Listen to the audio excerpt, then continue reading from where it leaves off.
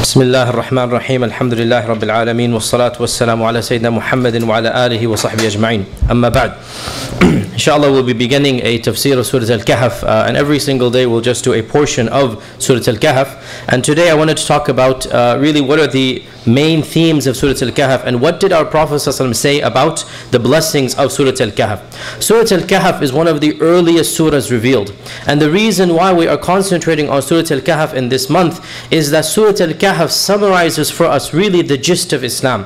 It is one of the earliest revelations. In fact, our Prophet said, hadith in Sahih Bukhari, that Surah Al-Kahf and Surah Al-Maryam and Surah Al-Taha, these surahs are from Al-Itaq Al-Uwal, the earliest revelations. They are of the primary revelations that have been given to me. And the main theme of Surah Al-Kahf is that Allah subhanahu wa ta'ala will protect you against all trials. Surah Al-Kahf is a surah full of stories. And in every story there is a trial. And the main theme of it is that Allah subhanahu wa ta'ala will protect you at times of severity. And if you look at Surah Al-Kahf, there are many stories, but there are four stories that are the crux of the surah. The first of them is the story of the young men. And they go and they seek shelter in the cave. And that's where the surah gets its name, Surah Al-Kahf. And this is the fitna of religion. When people persecute others because they believe in Allah. إِنَّهُمْ فِتْيَةٌ آمَنُوا بِرَبِّهِمْ They were a group of young men. They believed in Allah. But the king wanted to kill them. The king wanted to kill them because they were believers. So they go and they seek protection in a cave. And Allah subhanahu wa ta'ala protects them. The second story is the story of the two gardens. The story of the men with the two gardens. And this is the story that is the fitna of money. Fitnatul mal. What happens when money gets to your head? What happens when money causes you to be arrogant? And the solution here is, uh, as we'll get to inshallah we get there, the solution is to realize that this dunya is temporary. That Allah gives and you didn't give. That all that you have will eventually be taken away. And so the fitna of money is the second main story. The third story is the story of Musa and Khidr. And the main fitna here is the fitna of false knowledge if that knowledge does not lead to humility. That it is possible that even knowledge can become a fitna. Even knowledge can lead to arrogance if it is misused and abused. But of course, Musa alayhi salam, he overcomes that. And in his humility, in his humbleness, he learns from somebody other than himself and he rises because of it. So the third fitna is the fitna of knowledge. And the final story, the story of Dhul Qarnayn. The story of Dhul Qarnayn. And the story of Dhul Qarnayn is the fitna of power.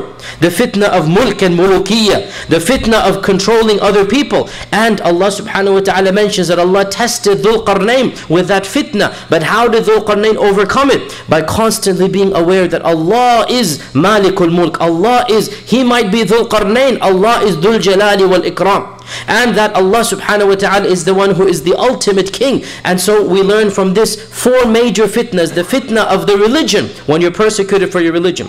The fitna of money. The fitna of knowledge. And the fitna of power. And these are the four main stories and we'll come to them bit by bit. What are some of the ahadith that mention the blessings of Surah Al-Kahf? There are many ahadith, we'll summarize only two or three because of time. Once it is narrated in Sahih Bukhari, a companion was reciting Surah Al-Kahf. His name is Al-Bara ibn Azib, famous companion. And he noticed his horses becoming agitated. So he looked up and he saw a chandelier basically of light coming down. He saw lights that are many different, like what we call a chandelier. And when he recited, the chandelier of lights would come down.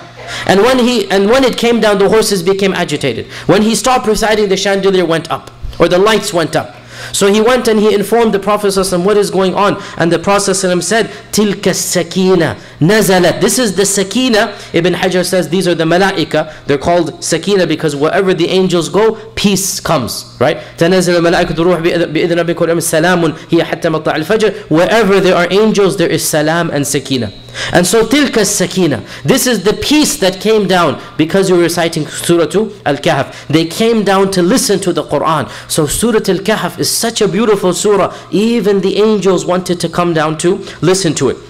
We already mentioned that the Prophet ﷺ said Surah Al-Kahf is of the earliest revelations. إِنَّهُنَّ مِنَ الْعِتَاقِ الْأُوَلِ These are from the earliest revelations that have been given to me. Why? Because Surah Al-Kahf fortifies you from Iman, in your Iman. It tells you that no matter whatever is happening, Allah subhanahu wa ta'ala will take care of you. So Surah Al-Kahf was revealed in the first or second year of the da'wah.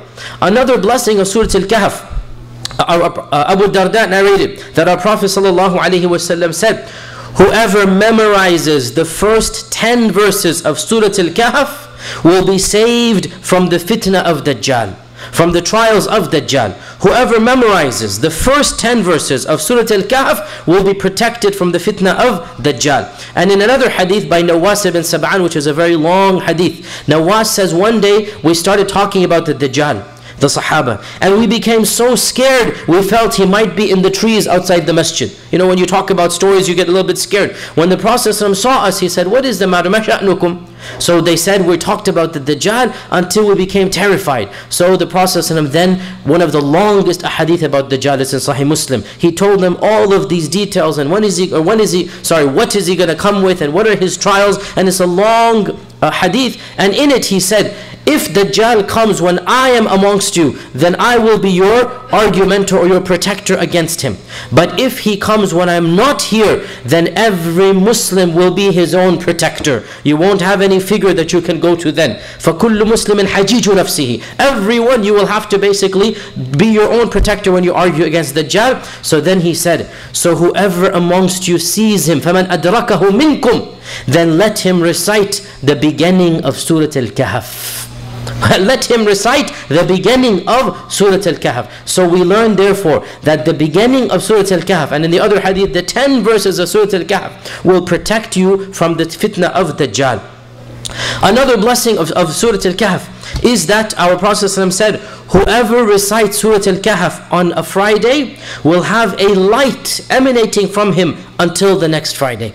Reported in Mustadrak of al-Hakim. Reciting Kahf on Friday will give you a light until the next Friday. And similar to this, Abu Sa'id al-Khudri narrated that whoever recites Surah Al-Kahf as it was revealed, as it was revealed, which means recite it properly with tajweed, khud khushu'. You recite it not just like a cassette tape, you recite it with proper tilawah, which means you do it with khushu'.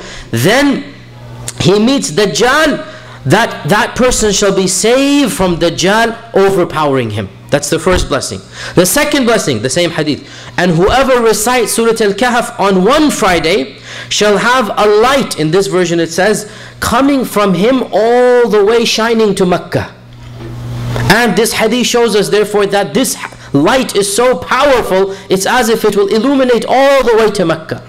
And in yet another version, which is slightly weak, uh, and there's no harm in narrating it, it is said that whoever recites Kahf will have all of his minor sins forgiven until the next Friday, from one Friday to the next. So clearly, there's something about reciting Kahf on Friday. Now, why is Surah Al-Kahf linked with protection from Dajjal?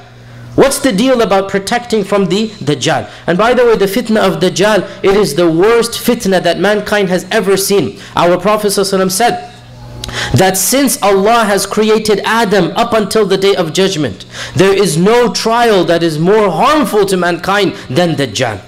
There's no fitna that will cause more destruction, wreak more havoc, kill more people, cause more bloodshed than the fitna of Dajjal. Dajjal will come, we learn from our traditions, and he will claim to be a God on earth. And he will be given apparently certain miracles that will fool mankind into thinking this man is a god. He shall be able to stop the water, uh, the, the rain from flowing. That whoever rejects him, he will perish or die. He will be able to be killed. Whoever believes in Dajjal, Dajjal will snap his fingers and the water will fall. And the plants will flourish and the people will be able to eat. So whoever rejects the Dajjal will be tested and tried. Whoever accepts the Dajjal's claim that he is God will flourish on earth. So he will be tested and tried. Sorry, people will be tested and tried through him like no no other fitna. So what has Surah Al-Kahf got to do with this? Well, look at the beginning of Surah Al-Kahf.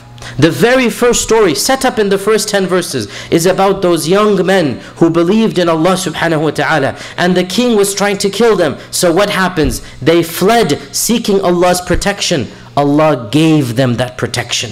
In the time of Dajjal, Dajjal will be that king. And he will be that person going and killing everybody who believes in Allah subhanahu wa ta'ala. So we need to become like those young men who fled away. And in fact, our Prophet literally said that a time will come when the Dajjal is here. The believers will run to the mountains. They will run to the Jibal, running away from the Dajjal. And this is exactly what these young men did. They fled to the mountains and they sought refuge in caves. And that is exactly what Muslims will do later on in time. Also, one of the trials, one of the biggest trials of Dajjal will be what? That he will be able to control food and water. Allah will give him that power. And so what will you do when you don't have uh, money, uh, water to drink? When you don't have food to eat? If you believe in Dajjal, you will get that food. And if you don't believe in Dajjal, he will cause the water to stop amongst you. He will cause the earth to go dry. What does Surah Al-Kahf say? Allah subhanahu wa ta'ala explicitly says, Inna ja'iluna ma ala al-ardi sa'idan juruza. We are the ones who, what, who make what is upon this earth uh, barren and dry. We're the ones who do that. So if you want to be fed, turn to me. Don't turn to the Dajjal. So the beginning of Surah Al-Kahf mentions it is Allah's power to dry up the earth and not the power of Dajjal. And also, we learn here that those who sought refuge in Allah subhanahu wa ta'ala, Allah subhanahu wa ta'ala paved a way out for them. How perfectly the 10 verses finish. That Allah says in the Quran that when they sought refuge in the cave, they said, رَبَّنَا آتِنَا مِن لَدُنْكَ رَحْمَةً وَهَيِّئْ لَنَا مِنْ أَمْرِنَا رَشَدًا This is exactly where the 10th verse stops. Oh our Lord, Bestow your mercy upon us and help us in our affairs. That's exactly where the 10th verse stops. So it's an optimistic verse. Notice here, what is the 11th verse, where we're, which we're not supposed to recite when we meet the Dajjal? That's the two, we're only supposed to recite 10 verses. What is the 11th verse? The 11th verse is what? Allah saved them by causing them to go to sleep. We don't want to be saved by Dajjal through sleep. That's not how we're going to be saved. The, the Prophet told us we will be saved when Isa bin Maryam comes. Our saving from Dajjal will not be through sleep. So we don't recite the 11th verse. We stop right at the 10th. And the 10th tells us that they made dua to Allah and Allah answered their dua. We're supposed to recite those 10 verses. And inshallah this is enough for today. Every day we'll talk just a little bit, just a few ayat. And you don't need to take notes because it will be put online and you can listen to it later on. However, the request that I have, and it is a request that we, all of us cooperate with one another. The request that we have, memorize this surah. Memorize this surah. Memorize this surah and make it a part of our weekly routine to recite Surah Al-Kahf on every single Friday. This is the opportunity where we're going to go over the tafsir of Kahf every single day, just two, three ayat, 10 minutes, and then next day we'll continue. Our goal every day we do one or two ayat. Inshallah, all of us together, let us memorize them so that by the time we finish the month, inshallah, we would have memorized all of Surah Al-Kahf and also understand it in a manner that when we recite it on Friday, it will bring about khushu' and taqwa taqwa and we'll have that light shining uh, from us until the next Friday and inshallah we will continue tomorrow. Jazakumullahu khair. Wassalamu alaikum wa rahmatullahi wa barakatuh.